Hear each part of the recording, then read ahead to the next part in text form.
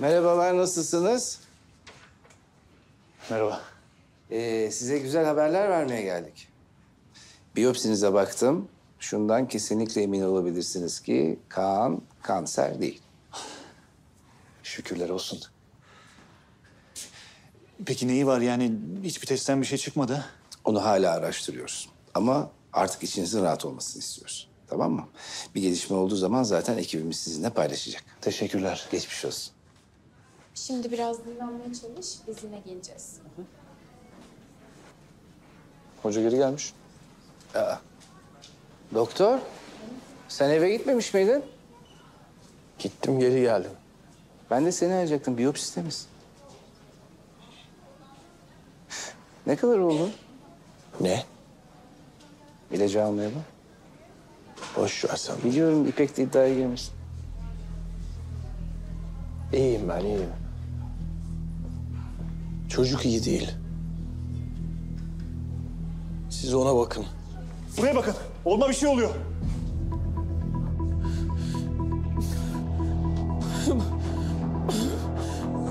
Bir şey oldu gözüme. Hangi gözüm? Bu. Bir şey var gözümde. Tamam tamam sakin ol. Ne oluyor gözüme? Sakin ol.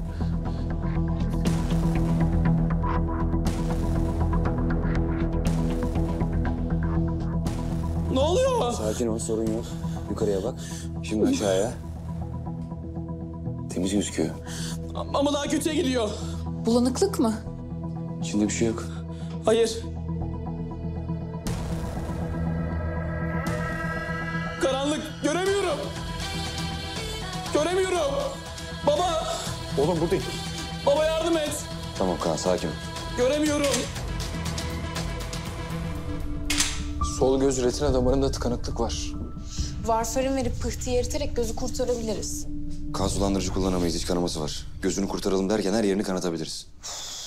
O zaman ameliyat da edemeyiz. Zaman yok. Ya göz damarını açarız ya da gözünü kaybeder. Gözü unutun. Pıhtı. Pıhtı bize ne anlatıyor? Bunu bulabilirsek çocukcağız da en azından hayatta kalabilir. Hadi bakalım.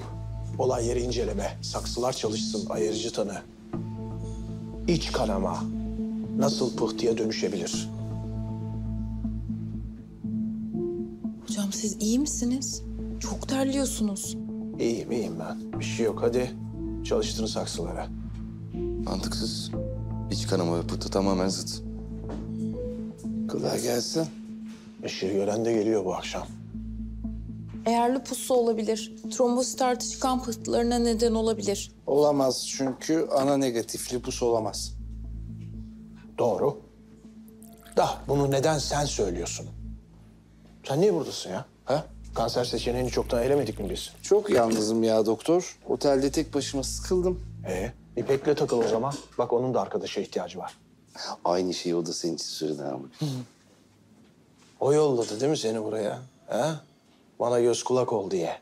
Hile yapmayayım diye. Hayır ben bu arkadaşlara göz kulak olmak için buradayım. Cinnet geçirirsen yazık olmasın genç insanlar. İyiyim ben iyiyim. Ya hocam hiç iyi görünmüyorsunuz. Neyiniz var? Bir şey var sizde. Hocanız tam bir gündür ilacını almıyor. Şimdi anlaşıldı. Niye? İpek Hoca ile iddiaya girdi çünkü.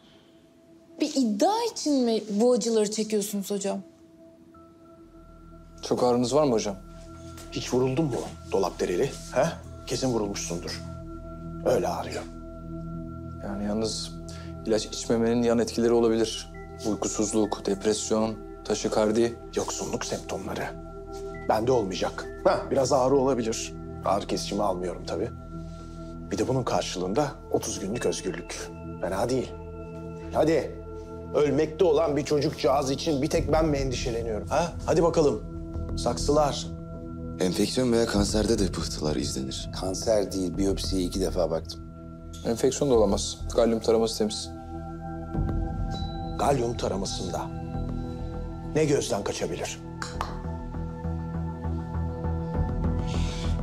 Kalp Kalpten çıkan pıhtı dolaşıma katılıyor. Oradan da göz damarına gidiyor. O zaman enfeksiyon var kalbinde.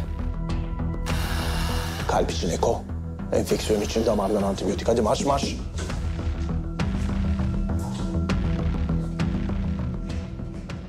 Kanalımıza abone olarak tüm videolardan anında haberdar olabilirsiniz.